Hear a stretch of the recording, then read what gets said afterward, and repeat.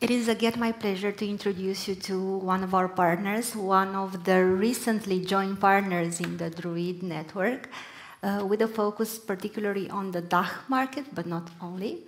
Um, the partnership has skyrocketed in a short period of time, and now we are very glad that Matthias was able to, to come uh, to this event um, having his first customer. And so uh, I will be very happy to learn more about the transformation journey that you guys prepared for Object Carpet. Thank so. you. So first of all, thank you very much from the bottom of my heart, not only from my side, but from the whole of team of Lunatech, that we have the opportunity to be here on stage today and give you a little bit of a sneak peek and a little bit of a glimpse what our customer journey now looks like with Object Carpet and will also look like in the future within the next two and three years. So our vision is we shape the automated world, and as Lunatech, we are constantly thinking about on how the automated world will all impact us as people, but also what influences the automated world. And not only technology will influence that automated world, but also here in this case, the people, which is every one of you in this room, but also the people who are watching here on the live stream. And one of these people is also my dear, I will call him friend now, Mark Kaminsky from Object Carpet. Thank you, Matthias. Um, Object Carpet may be an, a company that you might not know, but behind it is a team full of faith. Since 1972, we manufacture premium quality.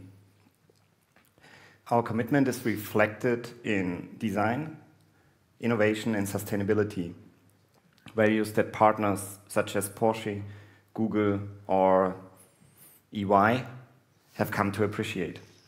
However, our pursuit of excellence is not only limited to our products. We want to develop constantly our processes and services. Imagine processes streamlined and forward thinking. Imagine customer support, seamless, responsive, and even predictive. That is what we for sure all strive for. Building on our achievements to date and including groundbreaking product developments such as Neo, the first monocarpet in the world, um, we now want to integrate AI into our service offerings.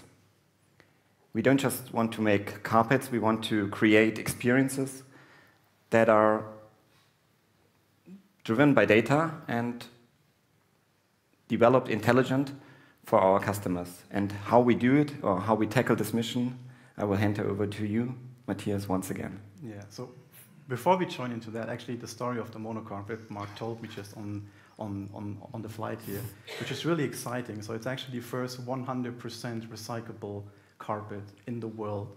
So if the customer gives it back from that material, they can create 100% a new carpet out of that material. So pretty exciting. So how do we start? Um, basically, well, Mark called me like one or two months ago, it was, I think, uh, telling me that he has sleepless nights. And with a consultancy background that I do have and solution driven, I gave him the smart advice maybe just start or stop to drink so much coffee and maybe do a workout before you go to bed late at night so you can have a good rest of a good night, good night's sleep. But before I could even send the email with the invoice for that perfectly advice, uh, which I was very proud of. he told me that he doesn't even drink coffee. And he's already in good shape, so he already goes to the gym. So his sleepless nights, or the root cause of his sleepless nights was not actually too much caffeine or too less sport. But the root cause was actually he was thinking about the reason, the reason technology advances, especially in the field of conversational AI and generative AI. So after chatting a little bit back and forward, uh, what we did, well, first of all, we asked Lunatech presenting them a few industry-specific cases to get them onboarded on the journey, uh, where we showed them the value of the Druid platform, and not only that, but also just in general, also implementing the generative AI aspect and the large language models that we already heard about today, which is pretty exciting. But also them sharing with us their own idea. So whether it be a quick shower thought, or them brushing their teeth, or just watching a Netflix movie, whatever comes to their mind, they just send me an email back and forth. I think I got like 10 emails from Mark and his colleagues just with quick yes. notes. What about this? What about this? What about this? So without any judging, we just put that all on a table, and within one and a half weeks, we gathered over 30 ideas for use cases for conversational AI and generative AI. And what we did then, I mean, of course, traditional before we pick into the fancy tech part, so to say, we did traditional consultants. So we evaluated the use cases. We basically made a pipeline for them. And the result of that, basically, was a whole roadmap after all these steps, looking at the data, analyzed every one of them, scored every one of them, looked into a deep dive business benefit of all of them, and we actually came out with 15 use cases ready for implementation, which will take place in the next two to three years. So after that part, of course, after all these idea gathering and what we can do with all this new technology and all these challenges, that Object Carpet has, it was time to bring our ideas to life. So what we did, we started our first Lighthouse project, which is called Object Carpet GPT. So that's our current name. It's not so cool, it's not so good sounding. So if anyone, if you has a better idea, maybe after a few drinks tonight, then please come to me, then we will come up with a cool new name. I think we heard like Roll today and other names. We need something like that as well. So if you have any ideas, also the audience watching, add me on LinkedIn and write me your ideas. We will be pleasant to hear. So the biggest, one of the biggest challenges that Object Carpet has, which is also one of the biggest strengths. So they have a pretty diverse product portfolio. What does that mean? Well, they have all sorts of different sizes, shapes, materials, and if we multiply all of that, we come to over 40,000 variations of their product portfolio, which gives them a huge challenge to fulfill the customer wishes and the customer needs. So they expect nothing but the best. And also, of course, in the customer experience, they expect nothing but the best to get every answer for their questions. So, on how to tackle this challenge, what we did basically, we implemented two virtual assistants. Number one, virtual assistant is a classical customer service virtual assistant, which answers all of your questions in regarding to the product portfolio, the technical implementation, the technical specification, and be a happy customer, so to say.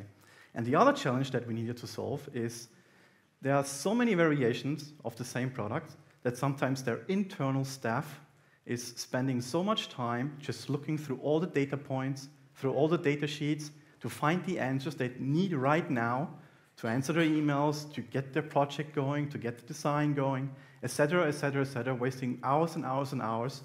So we provide that same service for their internal stuff as well to boost their productivity. So in numbers, as you can see here, 30% uh, rate, basically, that is the goal. We just started there. And we will up that goal in the course of the next month we will have a under three month return on investment, which is pretty fast. And so far, 100 plus hours saved per year. So, and as um, we are a medium sized family business who strives for adaptability and therefore success in the market, we are necessarily come up to financial limitations when it comes to investing in new activities. And that is why we examine the profitability of every project. Nothing new. I think uh, so far so good. Sounds somehow logical for all of you guys. However, it is important to understand that we are not concerned about the technology or one singular use case.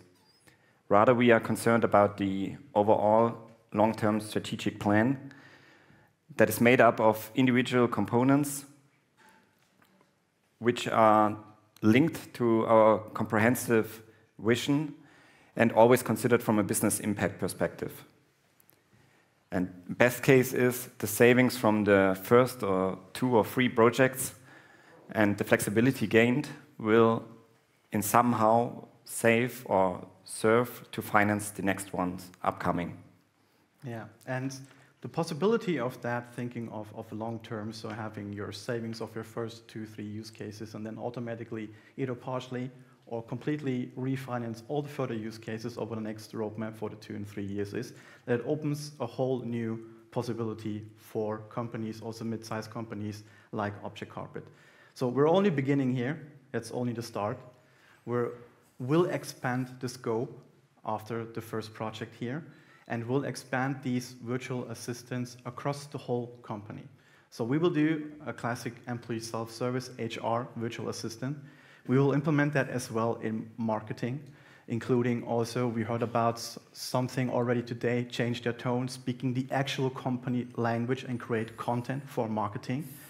What we also will do is, of course, do that the same thing for sales and the same thing for finance. I think we already heard today a great presentation about creating reports with large language model integration together with Druid, and we're going to do that with Object Carpet here as well, which provides them a lot of value. So from the idea, from the automated world to the automated company, together as a partner with Druid and also with our customers, with Object Carpet, we strive to shape tomorrow's company, which is the automated company, which will result in the automated world. Thank you very much. Thank you.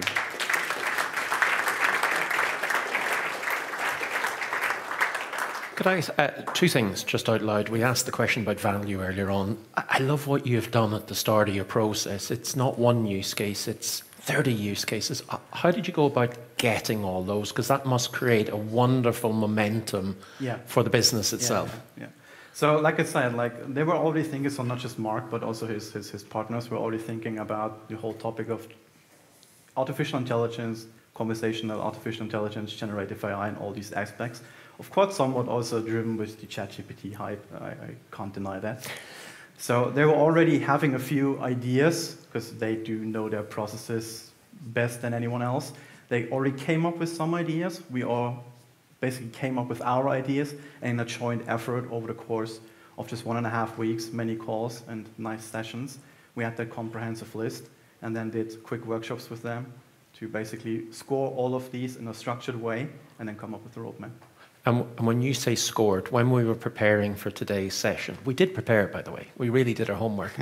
you mentioned a lot about return on investment. Yeah. So it's not just we'll, we'll build a bot and we'll throw it in there and then let's see what happens. There's an actual business case behind yes. each yes. piece so, of work. Would you mind just yeah, a little so, bit more so, detail? So we had four metrics basically. One is the process complexity overall of what we're talking about. The second one is the technical complexity of implementing such a bot in that area.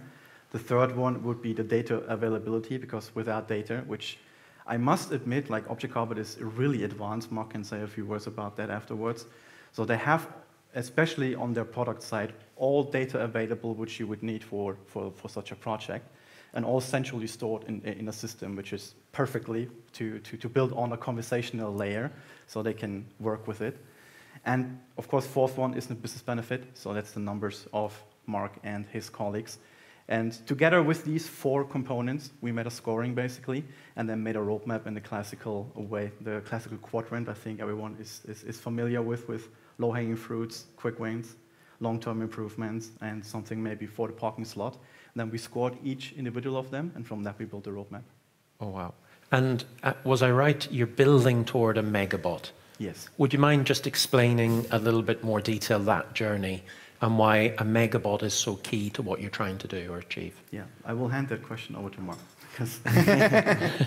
yeah, um, as Matthias told, our database is quite good for a medium-sized company, and um, we already knew four or three years ago that it always starts with data and always starts with clean processes, and that's the probably one of the only advantages that we as a small business have that our infrastructure is not that complex as probably from Siemens, oh, we already heard. So that was the, the, the, the, yeah, the beginning of the journey. And now I lost the, the question. Megabot, the, ah, the megabot, why we want to do it. Ah, thank you. Yeah. um, it's quite easy because if we think about the automated company and all the use cases that we now gathered in the last two or three or six months, then there must be a lot to come in the next stages of this um, technology. And why shouldn't we use our advantage of being small and being adaptable to, to all different kinds with, with this transforming session. Yeah. Yeah, and, and another advantage for them is they have one platform, so one single point of contact for everyone within the organization. You can seamlessly integrate that into teams which they are using, so that everyone has a virtual assistant. We sometimes call them their own little minion. I don't know if you know the, know the movie. So do the work for you, do it dynamically, just tell them what to do. We had also a great presentation, I think it was, I think from, from, from Andrea, which was, uh, two, ah, yeah, yeah, from, from two bots actually speaking to each other, which was really exciting. But just choosing as a minion, as your personal assistant, and then make it, makes the job easier. Fantastic. Look, uh, I think you have everyone in the room salivating over quality data and very well understood processes. Yes. Folks, round of applause. Thank you so much for that. Brilliant. Excellent.